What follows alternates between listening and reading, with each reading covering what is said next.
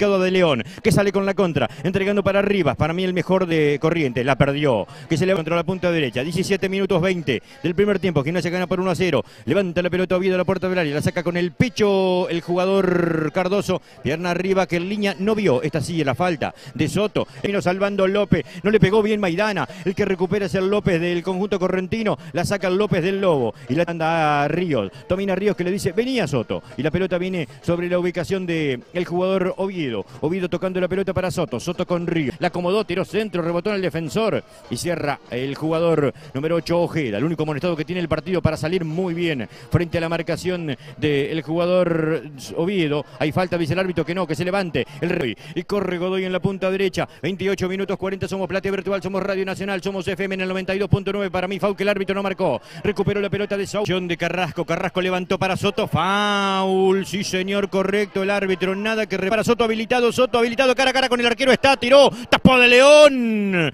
tapó el arquero de León, estupendo, el arquero estaba perfectamente habilitado, Soto, y quedó con el segundo gol de León, sacó la pelota el arquero, recuperó Romero, Romero para Carrasco, Carrasco la pierde, el que recupera es el jugador Morales, Morales tocando la pelota para Schweizer, Schweizer con el revés del pie, está habilitado, no, offside de la Bessi, indirecto corresponde para el conjunto de Concepción de Uruguay. En la réplica levantó la bandera el juez de línea, cobró Jonathan Correa, posiciona de conjunto correntino por aquel sector, lo tiene que hacer con las manos, el número 3 entregando sobre la ubicación de Cardoso, sale Cardoso por aquel sector, Cardoso jugando dentro para Maidana, perdió, ah, se enojó, le cobró técnico a López, porque algo le dijo a López. Algo le dijo López a la pasada, una protesta y el árbitro paró el partido porque estaba en juego como corresponde, paró el partido, le cobró técnico al 3. Estaba claro que el 3 no está bien, ¿eh? No, no, el 3 está teniendo una tarde para una película de terror, pero el que disfruta como si fuese comedia, Wokra de Concepción del Uruguay.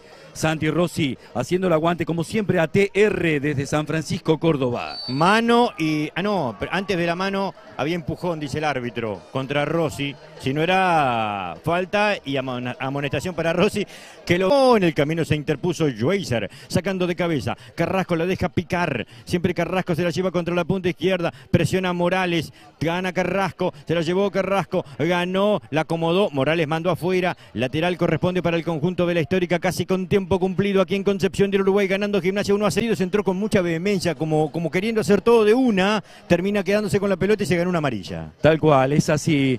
Pero bueno, se, nota que quiere mostrarse y tener su chance también. Este buen jugador que, que todavía no ha logrado demostrar, me parece, todo su potencial en gimnasia. El centro de Morales, sale el arquero, se le escapó. El árbitro marcó falta sobre. Ah, no, adelantado. Estaba, eh, sí, sí, sí, porque te, iba, juego. te iba a decir que no, no era falta, que se le había escapado a Bustos, adelantado, indirecto corresponde a gimnasia. Creo que lee justamente eso Hernán Orceliede, que se está viniendo, que encuentra espacios justamente